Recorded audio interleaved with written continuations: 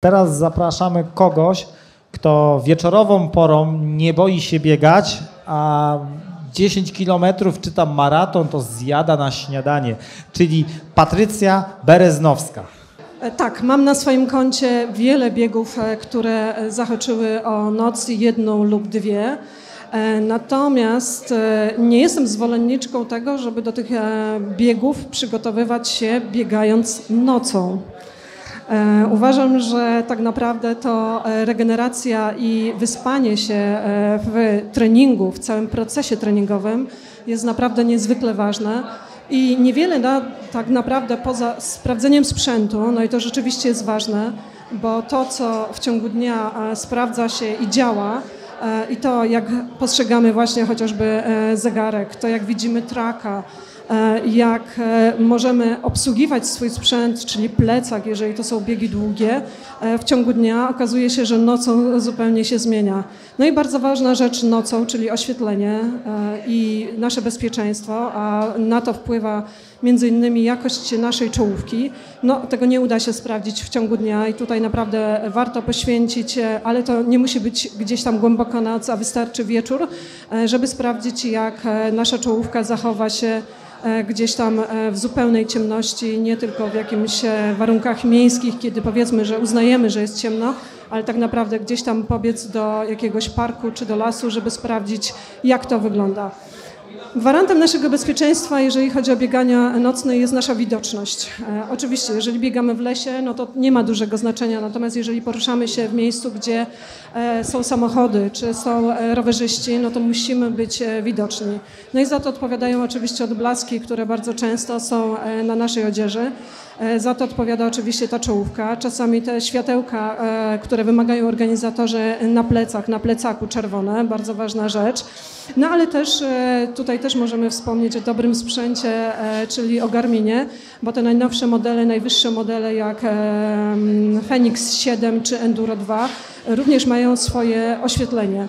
Zdarzyło mi się kiedyś e, towarzyszyć koledze na e, treningu e, i nie przewidywałam, że zahaczymy o noc i w związku z tym musiałam biec oświetlając sobie drogę światełkiem z Feniksa siódemki i okazuje się, że dało się bezpiecznie dotrzeć do mety. Natomiast jeżeli mówimy o takim bezpieczeństwie że jesteśmy daleko gdzieś nocą e, w lesie, e, czy chociażby też na asfalcie, ale po prostu przemieszczamy się między jednym a drugim miastem, wioską, to bardzo ważne jest, żebyśmy wykorzystywali funkcję live tracka. Mm, jeżeli tylko nasz zegarek posiada taką funkcję, to możemy ustawić po prostu odbiór u naszych znajomych lub rodziny. Wystarczy wpisać adres mailowy lub numer telefonu E, i ktoś na żywo, tak jak sama nazwa mówi, może obserwować, gdzie się znajdujemy. Jeżeli chodzi o wycieczki górskie, e, to uważam, że to jest podstawa naszego bezpieczeństwa. E, również te zegarki posiadają możliwość wykrywania zdarzeń, tak to się nazywa, czyli w momencie, kiedy cokolwiek się stanie, E, najczęściej jest to jakaś wywrotka, jakieś e, dziwne e, zachowanie naszego zegarka, nagły upadek. Można wpisać numer, na który odezwie się taka informacja alarmowa lub możemy sami wykorzystać opcję wezwij pomoc. E, oczywiście jest to świetna, e, świetna funkcja, która niestety działa wtedy, kiedy e, mamy zasięg, natomiast live track na szczęście działa również, kiedy tego zasięg telefonu tracimy, więc polecam używać i sama naprawdę, kiedy jestem w górach, kiedy biegam bardzo długie dystanse, to uruchamiam tą funkcję, e, żeby e, nie tylko mój serwis, ale też osoby, które po prostu dobrze mnie znają i wiedzą, gdzie się wybrałam, e, mogły w razie czego po prostu podejrzeć, gdzie aktualnie jestem, gdzie ewentualnie przybyć, żeby, żeby mi pomóc. W związku z tym poruszanie się w terenach mniej dostępnych, niezbyt bezpiecznych, a tak naprawdę to kostkę możemy skręcić e, wszędzie. E, wtedy może dojść do wychłodzenia. Najczęściej ubrani jesteśmy lekko jako biegacze, nie zawsze mamy ze sobą coś na zmianę. W związku z tym no, dotarcie osoby, która nam pomoże w takiej sytuacji może okazać się kluczowe. Czym szybciej, tym lepiej. Kolejną rzeczą, która jest ważna tak naprawdę, jeżeli chodzi o nocne bieganie, to moim zdaniem jest to mm, zadbanie o wcześniejszą regenerację przed. Jeżeli mówimy tu o biegach bardzo długich, w których wiemy, że spędzimy na trasie prawdopodobnie dwie noce, E, to tak naprawdę kluczowe, żeby te dwie noce przetrwać w zdrowiu i bezpieczeństwu jest e, wysypianie się po prostu przed takimi zawodami. E, jeżeli my mamy niedobór snu już na starcie, to jest pewne, że gdzieś ta deprywacja snu e, obudzi się w nas e, w najmniej sprzyjających e, warunkach, czyli gdzieś z dala od naszego serwisu, od punktów serwisowych, z dala od bezpiecznych miejsc i po prostu będzie nam się bardzo chciało spać, a wiadomo, że takie gdzieś tam odpoczywanie, pokładanie się w lesie do bezpiecznych nie należy, a poza tym szkoda na to czasu. Ja chciałem zapytać właśnie przy okazji, czy ty jakoś przygotowujesz się w takim układzie przed tak zwanym jetlagiem, który właśnie występuje, tak jak powiedziałaś, że w pewnym momencie biegnąc już tą drugą noc nagle zaczynacie odcinać i ten, jak to wygląda? Tak, po każdej zmianie e, strefy czasowej, e, czyli jeżeli podróżujemy na jakieś zawody e, gdzieś, gdzie ten dzień nasz ulega zmianie, może wystąpić jetlag, a nawet prawie pewne jest, że on wystąpi. E, I na jedną godzinę zmiany strefy czasowej liczymy jeden dzień e, powrotu do naszego normalnego rytmu dobowego. Objawy jetlagu są bardzo różne. Czasami jest to po prostu narastające duże zmęczenie, ból głowy, mętlik, niewysypianie się przez pierwsze kilka nocy po przylocie. E, I moim sposobem jest po prostu zapewnienie sobie odpowiedniej ilości czasu, e, żeby ten jetlag minął. Czyli podróżując e, na przykład na Tajwan, gdzie było 7 godzin różnicy, po prostu zaplanowałam 8 dni wcześniejszy wylot, żeby mieć dokładnie tyle czasu, żeby już przystosować się do tego nowego rytmu dobowego. Bardzo ważne jest, żeby już na początku podróży przestawić zegarek na ten czas, do którego jak gdyby zmierzamy. E, w związku z tym e, wtedy zaczynamy myśleć o tym, żeby spać w godzinach, które już nas czekają e, w nowym miejscu, do którego przybędziemy.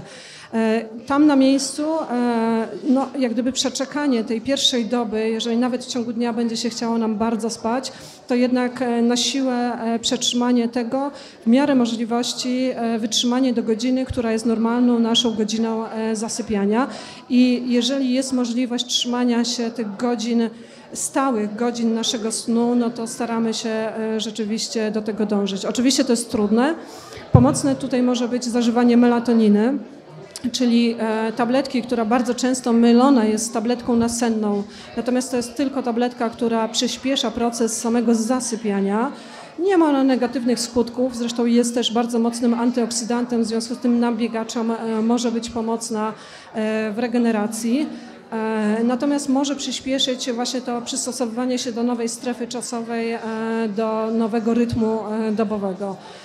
Więc tak naprawdę nie znam innego sposobu, jak odpowiednio wcześniej zaplanować podróż, poświęcić na to troszeczkę swojego urlopu i przybycie na czas zawodów odpowiednio wcześniej.